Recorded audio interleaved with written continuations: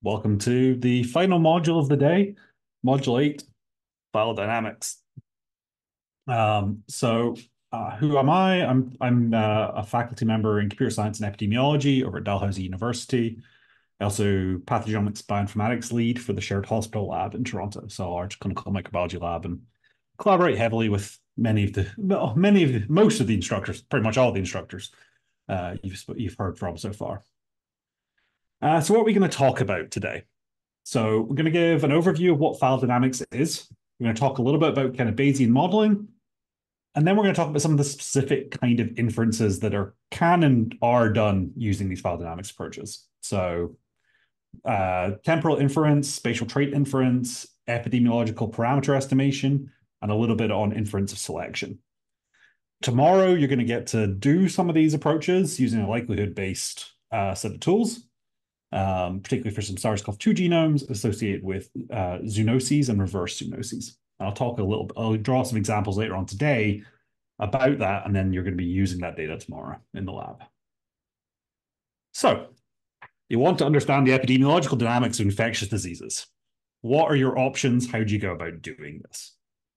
So, you know, many of you have seen these before. The kind of standard way of doing this is to use case information and then use a variety of different sort of traditional epidemiological statistical models. The most common infectious disease related one being this compartmental SIR model, or susceptible, infectious, and recovered. Disclaimer that there are many, many, many more, far more complicated models out there. This is kind of the most, the simplest model, or one of the simplest models. You can get even simpler. You can get rid of the recovered and just have susceptible and infectious.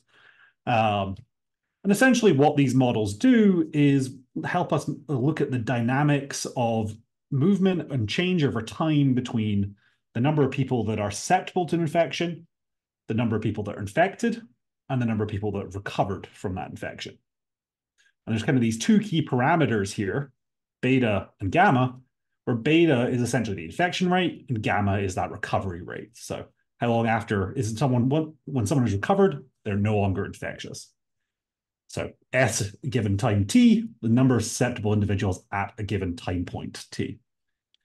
And we can use a whole bunch of uh, dynamic equations, uh, differential equation, system of differential equations to model the transitions and rate of change between these groups of populations over time. So the derivative of the number of people susceptible given time by per time is this function of gamma the infectious group, the susceptible population size divided by n, the total population size, assuming a fixed population. And so how do we, this is kind of the standard set of epi tool and approaches we would take for epidemiological modeling of infection, infectious diseases. Um, but how do we actually infer yeah. these? Oh, sorry. Okay. Uh, how do we how do we go about actually inferring this beta and gamma parameter? So we can use likelihood approaches from the case data to infer these parameters. So much like we talked about in the maximum likelihood inference of phylogenies, what do we mean by using likelihood methods to infer parameters such as beta and gamma? Essentially what we do is we can look at the number of observed case counts and we have a likelihood function where we can calculate what is the probability of our observed number of case counts given specific values of beta and gamma, infection rate and recovery rate. And we essentially can modify these values recalculate the likelihood each time as probability, and then just take the take the values of beta and gamma that maximize this likelihood, the maximum likelihood estimate for these parameters. So great, we have you know that's that's the introduction to you know infectious disease modeling purely from a case information, right? So why do we need genomic data? Why is genomic data useful in this process?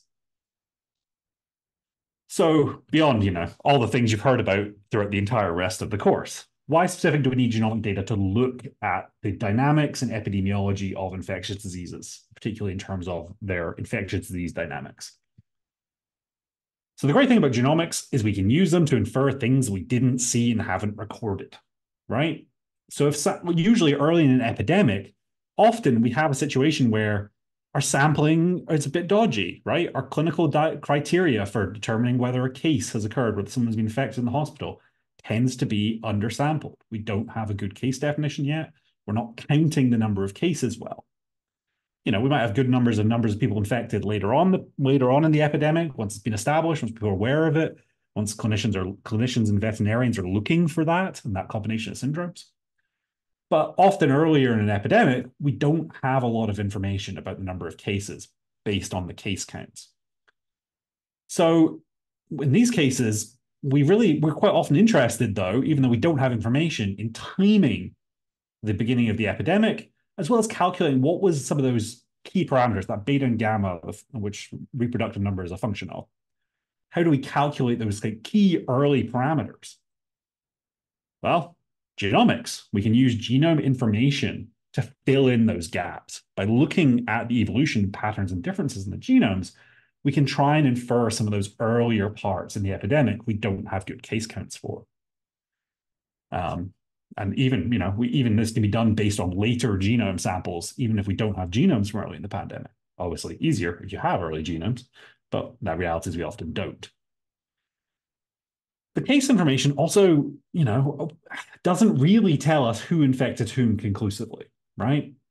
We can do contact tracing, and that's really important and actually, you know, the gold standard for this. But even then, we're not we're not we can't be certain who infected who.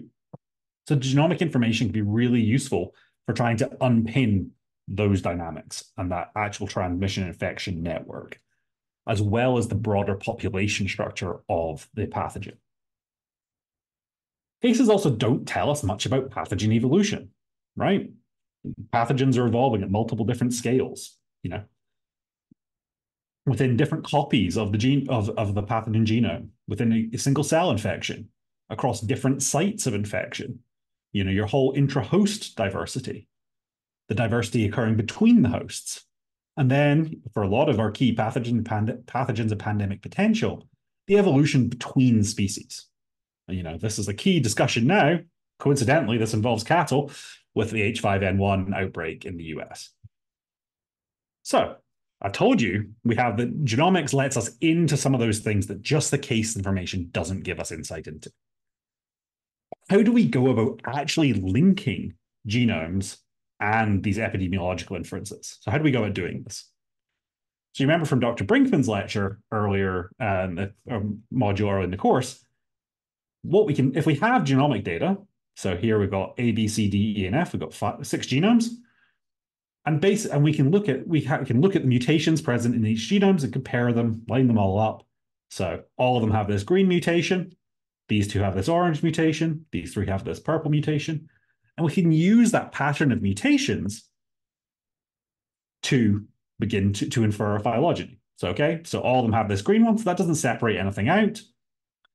But A, B, and C have this purple one, and E and F have this have this green, you know, dark green one.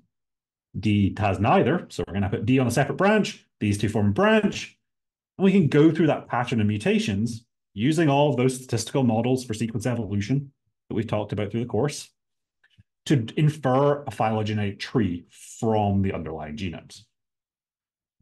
But what does this tree actually represent? Right? So we got it. We got we got a pattern of mutations. We can infer a tree from that, and we get it. We have that tree, but what does it actually represent? How can we link that to the epidemiology? So what we're doing when we're sequencing genomes and then inferring a tree from them is sampling from an underlying epidemic process. So here we have a, pl- a basically plot of the full the full outbreak of this particular you know pathogen X. So you've got person one came in, they infected this person and this person. This person then went on to infect this person. This person infected this person, and so on and so forth. So this, this would be like our complete pathway of infections. That is the underlying process that, and what we're doing when we're taking genome samples and sequencing is we're sampling bits of that process. So blue, the blue color here represent genomes we have sequenced. What we have if we remove the things we can't actually directly see, i.e. all the red, red information, right? We have our phylogeny.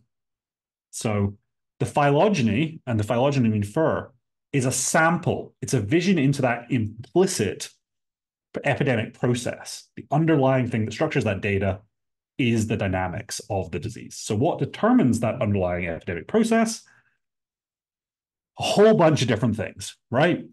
So uh, probably because pro- later in the day, I, I won't force kind of a degree of audience participation and engagement and discussion. But you know, there's a huge number of forces that shape this underlying epidemic process that determines who's getting infected, how many secondary cases are being caused, how quickly are people infecting, how long are people infectious for. You know, we have vaccination status in the population. We have host migration, so people's movements between host evolution, so mutations being fixed between individuals. We have all that within, within host evolution, so diversity within the host. We have variability in infection rate. We have host immune responses, virulence factors, uh, you know, generation time. How long, you know, what's the average time between sequential infections caused by the same individual? As well as immune memory and underlying population structure of the pathogen. Many of which, you know, many of which these things you've had an idea like we talked about ways you can get insight into these aspects of the pathogen biology whether that's looking at the typing information that Dr. Taboada talked about, looking at those key effector genes like AMR genes that Dr. MacArthur was talking about.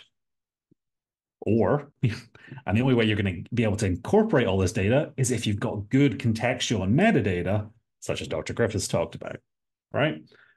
So you see how all these parts come together to give us information about these forces that shape this underlying process. And really, this underlying process is a it's a function of both these ecological factors, the epidemiological factors, and the evolutionary factors. And so all phylogenomics is, and all of these kind of broader set of phylogeographic, phylotemporal kind of inferences, is learning about this underlying process from the phylogeny. And also vice versa, learning about the phylogeny with by using some of this information about the underlying process. So kind of let's that's the kind of that's the you know very high level quick introduction end of the day hopefully clear idea of what phylogenomics is right sampling the underlying process using the shape of the tree we infer from those samples to try and understand that process and vice versa so let's start with a simple problem right let's start with the reconstruction of the transmission network so what makes this, what, what, why can't we just directly use a tree for this? Well, the challenge of this is we have, we have, we're doing complicated sampling of populations of pathogens, right? So we have a within host population and a between host population. So say, here's an example here, someone gets infected, there's mutation within a host, minor variants emerge, and they that person could then infect two other people, right? But because the infection is a subsampling of that process, we're pulling out pathogens from you know that process. You, you cough on somebody, they get sprayed with a bunch of say virus in this case, which may be you know all one variant, all one you know set of mutation types, or could be a combination of those types. And so in this case, you know most of the times the majority variant, the, the thing that makes up most of the variants, is going to be the thing that infects someone else. We build a tree, great, we have a nice clear phylogeny. But sometimes you can also cause an infection with the minor variants. So there's say 20% of the viruses have a different set of mutations, a different quasi-species, something like that. That can also be transmitted to someone else, right? So then our sampling becomes a lot more complicated and a lot harder to track back to the actual infection process. Um, we can also have transmission of a mixed infection, right? This person here is being infected by both these orange and these blue samples. Um, sorry, one second. Uh, so, and then over time, you know, there's very dynamics. Some will disappear, others will persist. You know, our classic bottleneck where we're only transmitting a subset at a time. So we're we're we're sampling we're sampling com complicated mixes on complicated mixes, depending on the pathogen determines, you know, how much of this subclonal variation there actually is, and how much of a headache that gives to us. And what's the end product of this is the same phylogeny can be consistent with different scenarios of infection, right? So we have five copies of the same phylogeny here, A, B, C, same tree, same inference. And so in this tree, we've colored it in to try and try and track who's infected who. We can see A has infected B, has infected C, A to B to C. But potentially, this, this most recent common ancestor here could actually be from a sample from within C. So in this case, it would be A infected C, who's then infected B. Alternatively, we could have B infecting both A and C, C infecting both A and B, and A infecting both B and C. So there are multiple different scenarios consistent with the same underlying phylogeny. So what how do we how do we choose between those scenarios? Well, it's essentially the same process by which how do we choose between multiple different possible phylogenies, right? When we're doing phylogenetic inference, we end up with a, several different possible phylogenies and we've got to choose between them. So what do we do? Probabilistic inference, right? We look at the data and try and infer what is the most likely tree or the higher posterior probability tree from in the Bayesian model. So the kind of key tool in phylogenetic dynamics generally is actually Bayesian inference because it gives us a very flexible statistical framework to try and deal with these complex and different scenarios and add extra dynamics on top of that. So what we're doing in Bayesian inference is kind of a quick crash course in this. So we've got some data, in this case it being our alignment of our, our pathogen genomes and you know the mutations and differences between them. We can also have other bits of contextual information, contextual data here that feeds into the model, such as traits and things over time, as we'll talk about in a second. And what we do, what we're doing is specifying a model, right, with multiple components. So what are these components? The model we're, what are the components of this model? Well, we have one part of the model is our underlying tree topology. What is the shape of the tree? Then we can also integrate aspects like an epidemiological model. So some of those SIR, like we can directly integrate that into our model inference. What are those dynamics of infection going on? We can state an evolutionary model, a sequence substitution model. We can also uh, add in components of a mutation model. How quickly is the pathogen mutating? How does that change over time? Do we have one mutational clock, one strict clock, that all the pathogens we sequence are mutating at an equal rate? You know, for every you know fixed set of time, there's approximately the same number of mutations occurring. Or do we add more complex models where some subsets are going to be mutating and evolving faster than others, right? Such as, you know, as we've seen with the H5N1 outbreak, we generally want to fit a different clock model for infections in different animals because you get different mutation rates occurring in different animals um, throughout the infection. So if we're trying to look at how date things in the past, we need complexity in that model. We need that freedom to state that. And we can also add in almost anything else to this model. That's the beauty of the Bayesian inference is we can incorporate lots of other aspects. We can incorporate immune antigenic cartography, right? The idea of how similar two different genomes, two different set of epitopes are in invoking an immune response. We incorporate spatial information, right? Where are these samples coming from? How are they moving between different places? Do we have a fixed diffusion rate? Do we incorporate, you know, air travel so people can jump faster between certain areas rather than just fixed spatial diffusion? There's lots of different aspects that we can throw into the model. In fact, we can throw in pretty much anything into this flexible framework. But just throwing things into a model doesn't explain how we infer things using this model. So the key thing in a Bayesian inference is we're trying to work out what is the probability of a given model, of a given topology, given set of dynamics, given evolutionary substitution model, and mutation rates, given the data we have, right? That's what we're trying to calculate. And the way in which we do it in a Bayesian framework is we take this function here, which is just our likelihood function. So this is maximum likelihood phylogenies, right? This is given our what what is the probability of our alignment given these possible different models, different models, multiplied by our prior probability of different models. And this is where we can incorporate a lot of our prior knowledge and understanding of the pathogen. We incorporate information from the literature, right? What is what have other people measured the mutation rate of this pathogen in different contexts? has there been substitution models that have been fitted or specialized for the kind of substitutions we see occurring in this particular virus, right? So we can incorporate prior probabilities. We say, okay, here are some things we think are more likely than others to try and make, and that makes our inference a bit more efficient because we're more, we're incorporating that prior information into the inference.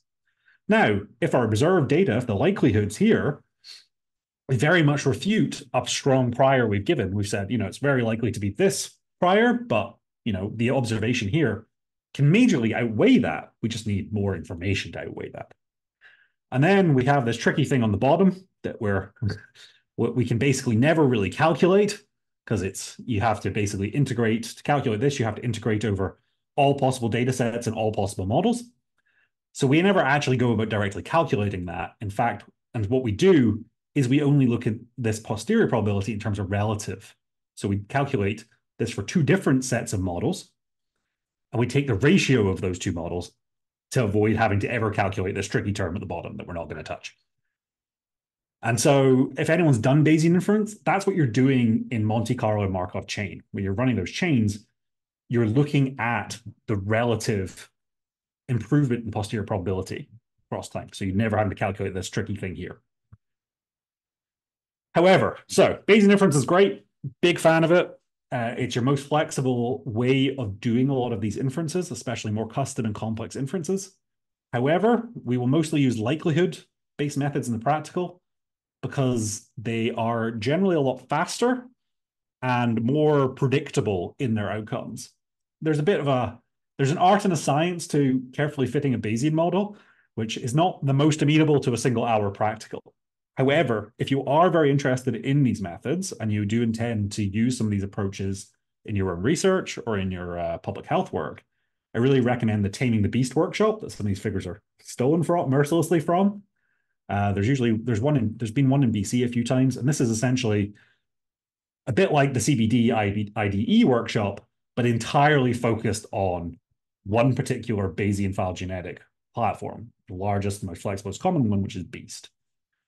So if you want to go really deep into this, I highly recommend heading heading that direction. Okay, so now we've got we've kind of gone through what is the file dynamics approaches, what the kind of analysis we do. You know, what's that phylogeny represent? How is it sampling from the underlying process? How we can learn about the underlying process. We've talked about some of the toolkits we actually use to, to do that learning, to try and draw those inferences. So now let's kind of get a bit more concrete and talk about some specific analyses you might end up doing or be interested in doing. And we're going to motivate this with zoonoses. I think everyone here has probably had some connection to either working directly on aspects of the uh, COVID nineteen pandemic, or uh, or you know have just been kept very aware of it by your specialties in the areas which you work. So we're going to draw on examples of zoonoses, and so you know knowing when zoonoses happen is kind of key to reducing them. That's one of those key parts of pandemic prevention is knowing when the zoonoses happen. So and we're going to look at a few different aspects of zoonosis. So, you know, let's take the example of there's a few different things that can happen. So say we have an original reservoir here. So this is where the virus or bacteria is circulating, you know, in a, in a, is endemic pop, uh, reservoir. So say bats, for example. And we can have a primary spillover event from this original reservoir into, say, humans or another animal. This primary spillover. Yeah. Then we saw, with COVID 19, we saw a lot of within host transmission. So we saw uh, pathogen, we saw the evolution, and we saw, you know, a lot of novel variation being generated by the process of follow-on infections, right? Start circulating with the humans, a lot of infections, lots of opportunities for mutations occurring. And then one then what one thing we observed uh, SARS-CoV-2, as well as with other pathogens, is we can have a secondary spillover event. So from this human reservoir, we can spill over into other animals. Sorry, sorry, I just realized I've been circling my uh, cursor on the wrong screen, so no one has been able to see it. I apologize for that. A secondary spillover event, and that can go one of two ways, right? Either it can cause an infection in an animal uh, that represents a dead end host. So thankfully for now, humans represent a dead end host for H5N1. We're not seeing secondary transmission from spillover into humans so far. Finger, fingers crossed. Um, and why why does why does a host why can a host be a dead end host? We can get either go one of two ways. Either it can cause no real disease and no real appreciable uh, titer enough that to be able to cause easy ongoing infection, Or it can be the other extreme where it can very rapidly kill you before you have a chance to pass it on to other people or other animals, right? So that's a dead end host. It's not ideal. We don't want to give a lot, a lot of opportunities of dead end hosts, but it's not generally a huge problem because we're not seeing this within host transmission, right? So we have spillover into an animal and we it establishes a new reservoir with a lot of stable within host transmission occurring within that within that new animal host. We can generate a whole bunch of new variants and new mutations. Whereas that's a problem for human health is they can then spill back into humans, cause infections there with huge implications for things like the our ability, you know, evasion of vaccines, for example. You know, we've developed vaccines for what's circulating in humans, suddenly we get a spillback from this entire other evolutionary regime, right? Whole different selection factors, whole different evolutionary pressures, different immune evasion. And in most cases, the spillback probably, hopefully, should not be too optimized to causing disease in humans because it's been molded by this other reservoir.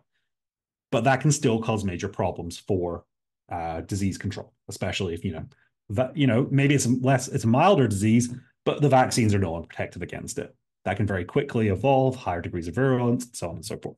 So, probably preaching to the choir here. Zoonoses are important. We need to be doing more about uh, prevention and preparedness in relation to zoonoses in the One Health frameworks. So, knowing when zoonoses happen is key to reducing them. So, how do we work out when a zoonosis has occurred? Right? Well, one of the things we want to do is we want to take a tree that's measured, you know, a phylogenetic tree that we've got the distance, the branches are proportional to evolution, to you know, mutational distance, the number of substitutions per site, right? And we want to turn that tree into a time calibrated tree, right? So we want to be able to work out what is the date of these nodes back in the tree. When did this occur? When did this occur? When did this occur?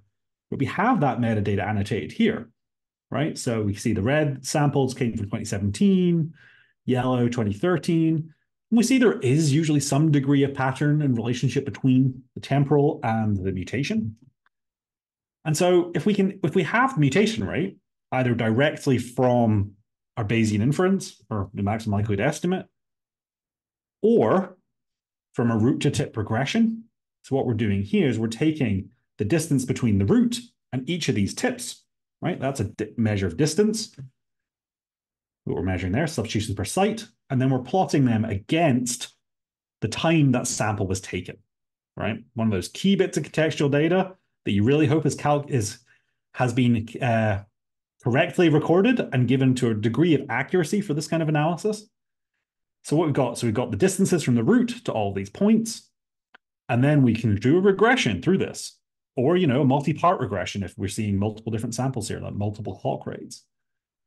And the slope of this regression line through these points is our estimate of the mutation rate, right? Because it is the regression of the number of mutations that are occurring per time, right? So 0.0041 per year in this case, that gives us that information. So then we can use that mutation rate uh, along with potentially any fixed points or any information we have to take our distance tree here and map it to a time calibrated tree. And so we're going to we're going to see, see pretty similar tree, but we now have it on a time-based axis, which opens us up to being able to do a whole bunch of different analyses and try and work out, you know, when was the split between these taxa? When did we see spillover from mostly samples infecting a certain animal to human samples or to a secondary uh, reservoir? And we can infer much more complex and varying mutation rates using more sophisticated models, right? Um, that's what I'm saying. Like, you know, often, often we're not going to end up with one nice line here where we can draw a mutation rate. We may end up with multiple, you know, there's a whole bunch of samples that clearly have this mutation rate, but maybe there'd be a whole scatter up here suggestive of a subset that has a higher mutation rate. Um, I did it again. I moved my cursor. I apologize. um, okay, so time trees. And so what time trees let us do is let us infer the timing of unobserved events. So this is the data set we're going to use in lab practical. And what we have here is we have one of those spillover events from SARS-CoV-2 circulating in humans to some on to to basically infecting deer with potential spillback into humans, right? So we see that process of circulation in deer, diversity generated in deer, and then spill back into a human case. Uh, and a spillover into mink as well. And we observe, also observed spillback from mink to human cases, particularly in mink farmers. So if we have a time tree, if we calibrate a time tree and infer those mutation rates, what we can do is we can infer what the most likely dates were for some of these nodes in the previous tree, in this tree. So here we can say, okay, the common ancestor of all of these deer samples and this human secondary human case, the spillover back, spill back into human, occurred around May to July 2021. We can also infer the length of this branch here is approximately a year of evolution where we weren't monitoring anything in this in this area, right? So we have a year gap between the most common ancestor of all these samples and the nearest human cases back in May to August 2020. So what does this tell us? It tells us potentially SARS-CoV-2 has spilled over into deer and been evolving unobserved for that entire time and circulating in deer or in other wildlife, sylvatic wildlife. But it tells us here we have a big gap in our surveillance, right? And a whole bunch of mutation and evolution and infection that's been happening that we have not been monitoring. So beyond, oops, sorry. Sorry, uh, a siren in the background. Um, we also often want to know where something has happened, right? So if we know we know when it's happened, we know there are gaps in the observation.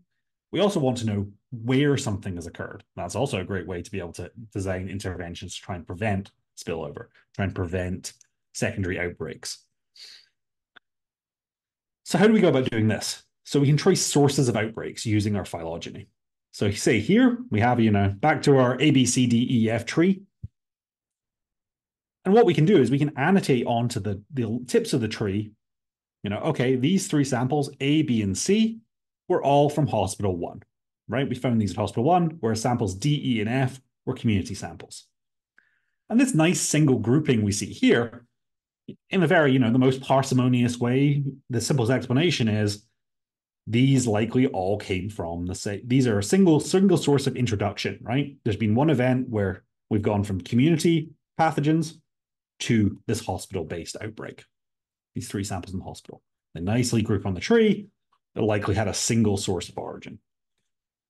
Alternatively, we might see other patterns of these tip-based, of these labels on the tips in terms of location.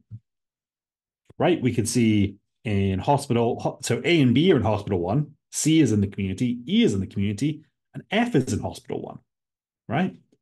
And again, the most parsimonious explanation of this would be two independent introductions of the pathogen into the hospitals, right? We've got a split tree here. But how do we go about, you know, this is this is the very, you know, very simple tree, very simple scenarios. And I've said, you know, there's multiple different scenarios that could be consistent with this, right? This could be a single introduction to the hospital back here that's then had two secondary cases in the community. Right? That is a possible explanation for this pattern. Same with the other other kind of aspects of traits that we have, things labeled on the tips on the tree that we're trying to infer back in the tree. So how do we go about trying to work out what is the most likely or the highest posterior probability explanation for when, where the location of certain nodes back in the tree actually were? Was it was this a hospital node or a community node? So we can use a whole bunch of methods called continuous time Markov chains here, or you know, par parsimony or dollar like dollar parsimony or maximum likelihood methods. And essentially what we're trying to do is look at we have we can set we can have a model of those transition rates between hospital and community. And essentially every step on the tree is an opportunity to transition between those states. So every, you know, every chunk of time we can swap between being in the hospital, being in the community in this particular case. And usually we'll inform this model with priors based on, you know, known diffusion rates. So how much do things travel between these locations? How close are samples together? Um, or just, you know, a fairly flat prior that we then try and inform with our observed data. And what this gives us is a posterior probability distribution over the internal nodes, right? So the majority, of the probability mass for this node is they have this state A, right? This ancestral state, this, this most common recent ancestor of these two samples, say A in this case is hospital, was most likely also a hospital sample. Back here, based on the building the tree lengths here and the transition rates, you know, mod and the modeling there, this most recent common ancestor here of these two A samples and the B sample was most likely B, or in this case, say community or Canada. And we so the same approach can be applied to all of the nodes in the tree. So we can use the continuous time Markov models to try and infer what the ancestral states are from these observed tip states. So these and these in this case, these observed tip states are location. And that's exactly how, you know, things like the origin of Zika was traced in Northeast Brazil, right? So we have all these genomes, the tips of the tree here, all these genomes, they're associated, they were sampled in a given location, right? And what we're trying to infer is we're trying to take those tip, inf- that information we have about the tips, and project it backwards, color in that tree over time, take the most credible, the highest probability location of the most recent common ancestor of those tips. And you know, using the branchlets, using all those aspects of our evolutionary model. So this is exactly what we're seeing here. So we see, you know, this is, you know, Central American samples, these are Caribbean samples. And we can see as we go back in the tree, we're coloring in the most recent common ancestors as most often being Northeast Brazil, highest probability being Northeast Brazil. So this is likely the origin of Zika, likely existed in a reservoir present in Northeast Brazil. So we're able to project that back through the tree. And what's nice is the same approach works for any discrete any discrete state as well as actually some continuous traits we can put on the tree. So we can try and work out, you know, what was the mutation in the most recent common ancestor of, say, a given cluster, a given outbreak? What mutation was present, a specific mutation? So all of these are mutation A, these ones are mutation B. Back here, most recent common ancestor of this set likely had mutation of, you know, all these samples here, likely mutation B, and of all of this combined was mutation A. So mutation A is the ancestral trait, and this lineage here has acquired mutation B. So this can be really key for, you know, especially when we're applying epidemiological inferences on top of this, to try and work out, you know, where did where did a certain new variant come from? Where did it fit in the tree? What was the where where did that originate? So we can apply this way of projecting back into the tree to a whole bunch of different methods and analyses that we might be interested in.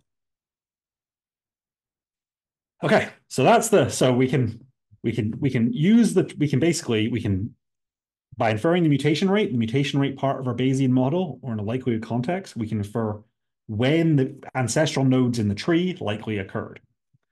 By taking a similar approach and applying that to particular traits associated with the genomes we have, we can project them back into the tree as well and try and work out what the common ancestor, all those ancestral nodes, most likely had. So what about the other epidemiological parameters? How can we go about trying to estimate them?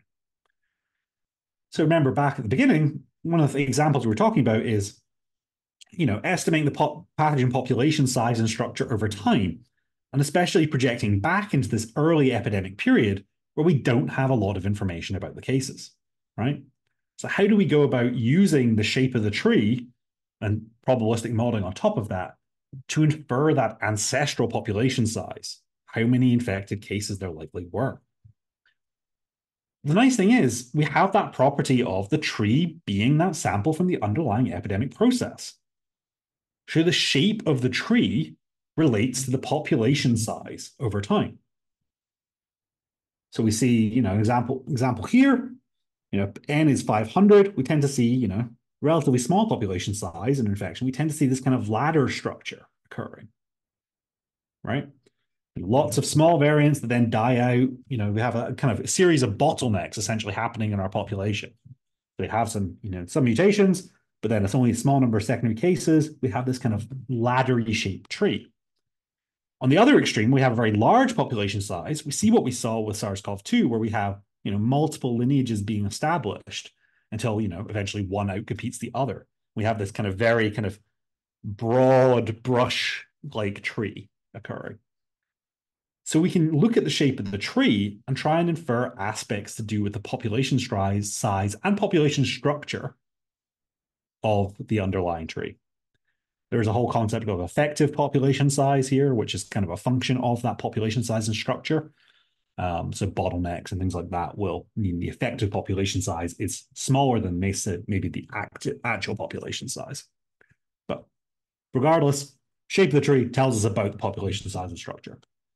So how do we go about actually looking at this and inferring this? So we can use these things called coalescent processes to quantify this relationship. This is a way of sort of projecting time, running the tree backwards through time. So say we've got a tree like this, where essentially all of these branch lengths, assuming the mutation rate is the same over the tree, are roughly the same length, right? They're being drawn from the same kind of distribution, right? This represents what is likely a constant population size over time if all these kind of length are the same. Alternatively, here, we can see we sort of have, as we go back in the tree, we tend to have like, we have little short branches kind of occurring here that's representative of a growing population with some long branches on the end. So why do, why do we see these shapes? Well, we can look at something called a coalescent process underneath. So a coalescent process is a relatively simple function where we're saying the probability of two of these samples in the population coalescing, joining together in the tree if we run it backwards, is one over the population size, right? So the more and more, the bigger the population, so the wider this set of boxes are, the lower the probability that any two nodes that we've actually sampled, any of these two genomes we represent, are going to coalesce into one of those ancestral nodes in the tree. Smaller population sizes, right? We have more opportunity. We have, you know, there are more higher, there's a higher probability they're going to coalesce, right? They're more likely to share a common ancestor if we go all the way back to the root here, and there's only, you know, the population size is one, there's been a spillover of this one particular genome group of this pathogen, they're all they're guaranteed to coalesce. The population size is this small, right? So we can use this coalescent process to infer what the population size is at given times in the past. We see here, population size increases and our probability of coalescence is decreasing, right? So we tend to have longer branches constant size, we see roughly the same coalescent probability over time. And we can look at things like Tajima's D to capture that deviation from neutral change from neutral change.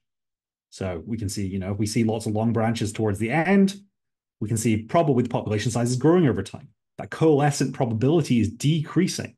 We're observing a few of those coalescent events from the things we've sampled. Neutral evolution here, everything's about the same length. Or if we see a pattern like this, where we have long branches at the back, lots of samples at the beginning, uh, lots of short branches at the end here, what we're seeing is basically a decreasing population size. The coalescent probability is increasing as we get down to that smaller and smaller population. So I know, again, we're covering a lot of ground in this in this one hour lecture. This is material that, as I say, there's an entire workshop that goes into detail there, and this is whole level kind of PhDs of work, much like pretty much every lecture in the uh, Canadian Bioinformatics workshop. So it gives you a place to start. I'm aware this is a lot to cover though. But I think the key thing to take away from this is just that the shape of the tree can tell you information about the underlying population size and structure. And there are things like Tajima's D and this coalescent thing that are ways we can investigate and analyze that. Okay, so what's the, the last thing I promised? The last type of analysis we're going to talk about.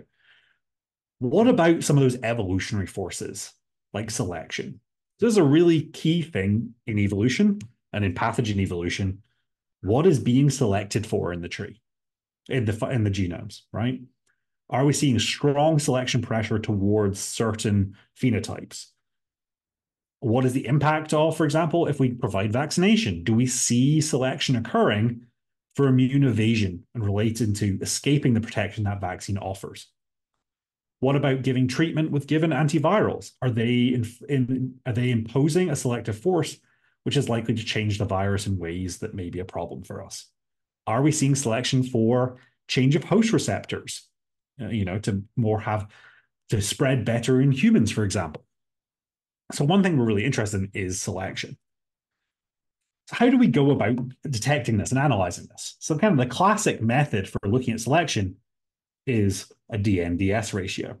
So this is the ratio of non-synonymous mutations that are occurring, normalized by the total number of possible non-synonymous mutations, divided by the number of synonymous mutations, again, normalized by the number of opportunities you have to have synonymous mutations. And just kind of remembering non-synonymous being a mutation that changes the amino acid, not synonymous mutation being one that doesn't change the amino, and DNA change doesn't change the amino acid sequence. And the reason we're looking at this ratio here is we are making a fairly direct claim that this non-synonymous mutations that change the amino acid have a much bigger functional impact. Now, this isn't totally true, especially for viruses where you have a very compact genome, you're trying to make many copies as possible. We know synonymous mutations actually have a fitness effect, but it generally is smaller than non-synonymous mutations. It's one of those kind of group fictions that we all engage in when we're using these methods. And so if we see a DNDS ratio of approximately one, that's indicative of drift occurring in the population, right? So we see, you know, DNDS, you know, we see three non-synonymous mutations normalized by the number of sites, and three synonymous mutations normalized by the number of sites. You know, it's about equal, we're having roughly equal probability of non-synonymous and non-synonymous mutations per the number of opportunities we have to have them. That's indication of drift, right? But there's not really any strong selection being imposed on pathogen of interest. We see a lot more synonymous, non-synonymous mutations than synonymous mutations, i.e. DNDS greater than one. That's an indication that we're seeing adaptive selection going on, a positive selection. So this may be selecting for trying to, uh, you know, evade a given immune response or better adapt to cause infections in uh, a different host. And also see the opposite here. So pure, so when a DNDS ratio is less than one, this is something we refer to as purifying or negative selection. And where this kind of can occur is when basically something has become relatively well adapted to a given host, a given state of that host, host population, and so any synonymous, non-synonymous mutation, which changes the amino acid, actually makes it less fit uh, or potentially, you know, completely removes population. We see this purifying effect, right? We see, you know, we only see the accumulation of these synonymous mutations, which don't affect the fitness too much. So this is a relatively simple concept. Ratio of non-synonymous mutations divided by synonymous mutations gives us an idea of whether selection is occurring and the type of selection, directionality selection. There's a lot of challenges with this, right? Mutation rates vary over time in groups. So we need to correct this a little bit for that variation. Mutation rates also vary across the genome, right? So this is SARS-CoV-2 genome. We see, you know, there's big spikes of how common mutations are occur. Well, literally spikes on the spike. The number of mutations occurring, right, are not evenly uniformly distributed across the genome. Certain sites have a higher mutation rate.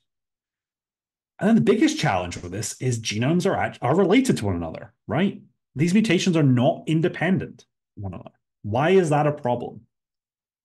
So say we have our ABC, our trusty ABC DEF genomes here, and we have you know a whole bunch of synony purple synonymous mutations, orange or non-synonymous mutations you know, if we, you know, if we're not thinking about phylogeny, we're not thinking about things being related, we can just count up the number of mutations occurring in each of these, right? So A has two purple synonymous mutations and one non-synonymous mutation.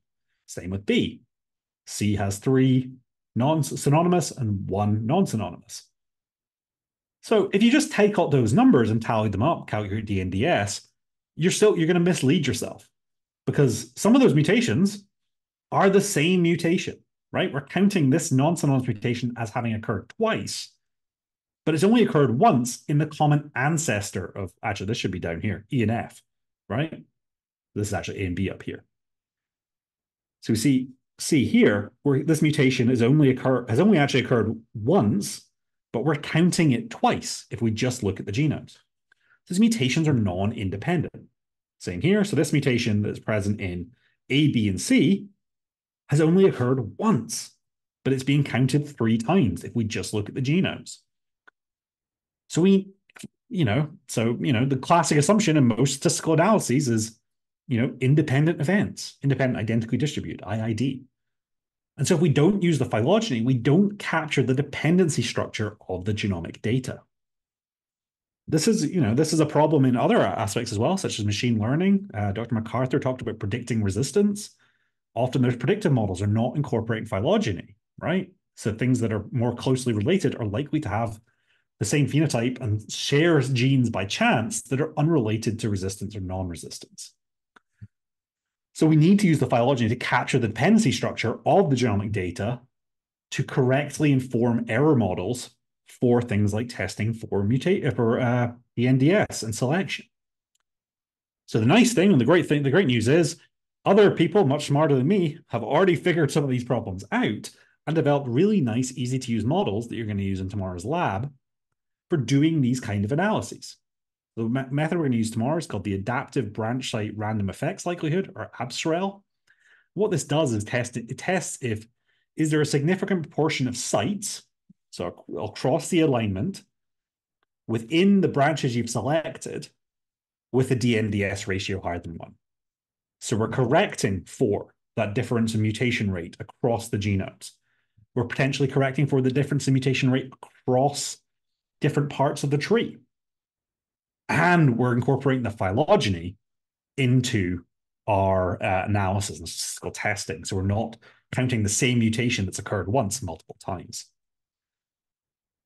So what does this look like? So here's an example from a paper by uh, uh, Kuganya in uh, Samira Mubareka's lab, using the use of whole genome sequencing to identify low frequency mutations in SARS-CoV-2 treated with remdesivir. So what we did is take all the patients in the hospital that have been treated with remdesivir, a particular antiviral drug.